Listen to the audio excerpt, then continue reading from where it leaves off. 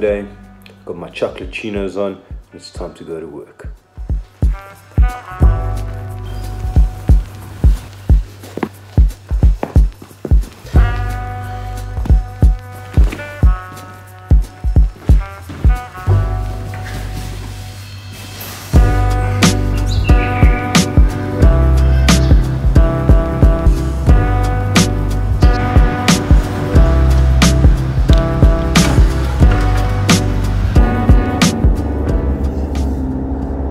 Been a while since I've vlogged anything, and the truth is, it's because I just simply haven't had the time, and I guess the motivation. You know, it's very hard when you watch YouTubers who have got millions of viewers, and you see their crazy life, and then I try and see the reality of my own, and it does make me a little bit despondent. But still, I'm not going to give up. Taken a little bit of a break, not intentionally, just because I'm human and that's just sometimes how life goes. But yeah, I'm ready to start again. I'm going to give you a quick update and we'll take it from there.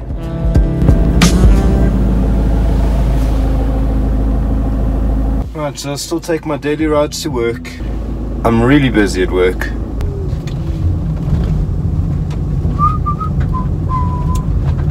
Lots of roadworks going on.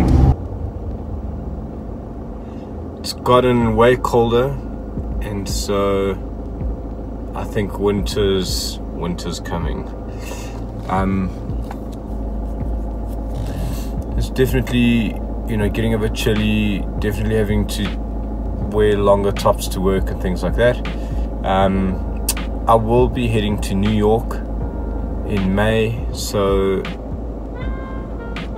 I've seen the weather report there and it looks really cold. I'm hoping that it's warmed up a little, but if not, if nothing else, it should be the end of season sales and I should get myself a really great jacket.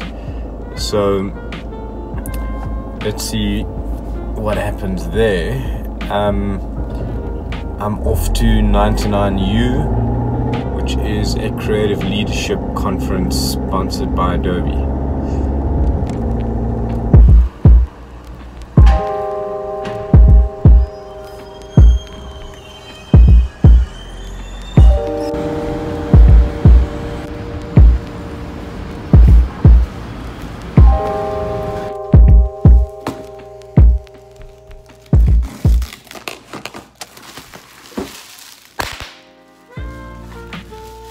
Who doesn't love bubble wrap? My book apart mugs, and I think the one I ordered is book number four, which is from a book apart, which is responsive web design. Just their book, which is brief books for people who design, write, and code.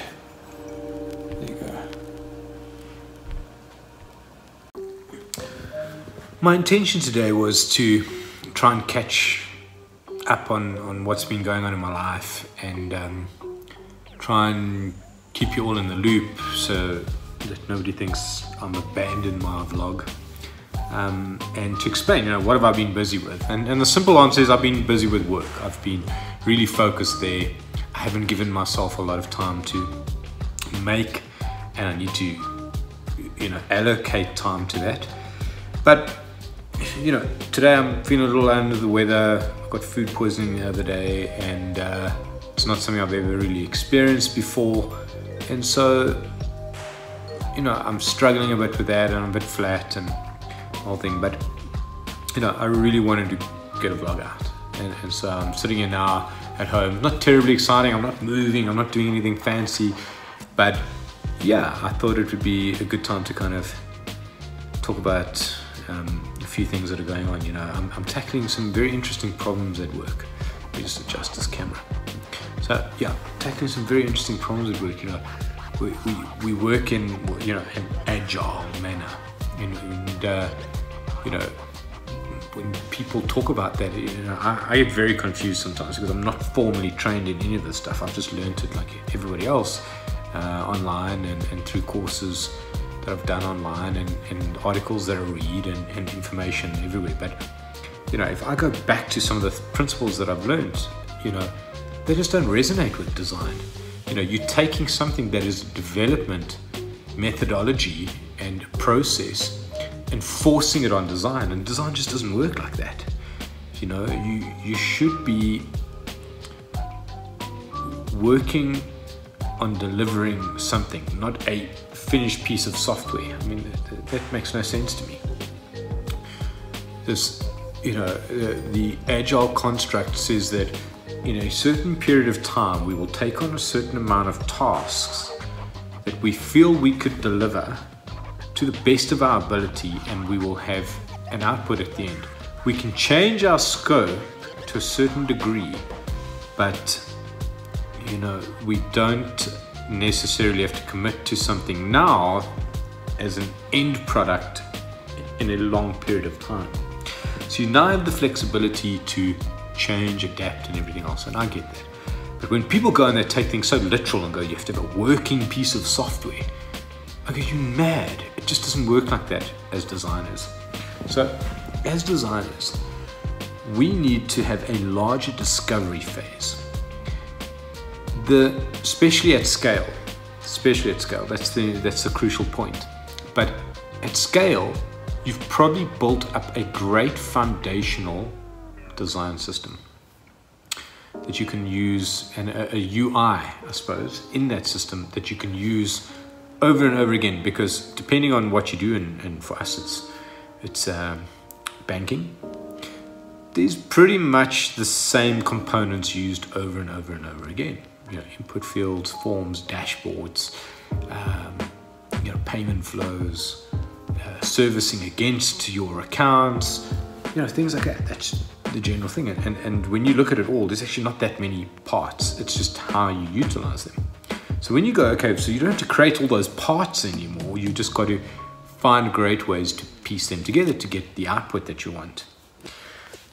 So that's all fine and well, but knowing your customers is a very different thing. When you go through a customer centric approach to things, well, the first thing is to identify the problem, validate that with customers, do some research with customers, do some research into your market, the industry, the competitors, whatever else. That's not going to happen in a day. That's not going to happen in one sprint. That could happen over several sprints. Then it's starting to say, what is the current journey map? You know, or, or, or what is the current kind of journey that a, custom, a customer goes through. So you you got to look at that and go, that's the current thing. But what do we want to do to better it? And what has our, our research taught us? What has best practice taught us? You know, what is broken? What doesn't need to be fixed? What systems are in place? In, in the current construct of things, there is a discovery phase and there is an execution phase. They usually sit like that. It's probably like a 20 80 or 30 70% ratio in most uh, project plans. On paper, it all makes sense. But then the truth is the, the way things are in reality, and given uh, how design works, you have a discovery phase and a short execution phase. Because all those components, all those things are designed and coded already. Discovery is knowing your, uh, your customer, building solutions that meet their needs, going and looking at competitor analysis, mapping out journeys past to future states, the entire, entire service um, map uh, that you need to create. There are so many things that are involved in all of this that it just makes no sense for me to somebody to say, no, it's got to work in this agile manner and in a sprint you've got to have a working piece of software at the, at the end. It's just not what we do as as designers. And so you've got to have a methodology that works for that. Now i'm a self-taught designer and a passionate designer. You can't buy that you can't study passion you can't anything. So i work differently. You couldn't ask me to explain exactly how i work. I think whoever these clever people are who've managed to go and construct this career of designers. Good for them. Not who I am, not in my world does this make any sense. You know, it makes sense to be talent, skill, passion, drive, uh, you know, innovation. And innovation can't happen through testing. I mean, testing most of the time is a way of getting away with uh, not making a decision or not actually knowing how to do something is to hide behind testing. So uh, I'm not a big fan of that either, although I do believe in doing some sort of testing to make sure that things resonate. I don't think all testing is necessarily right. And I think people do it at the wrong phases, they don't do it with the right um, amount of people. And so, yeah, I, I, I don't believe in that either. So, I think the thing that I'm trying to say here is that you know, one of the problems that I face day to day is that I've got all these people who go on these agile courses and they've got scrum masters and they work in sprints and they've got to deliver software and it just doesn't work for me. Okay, so I'm not really sure that is much of an update today. Like I said, I'm not feeling great. Um,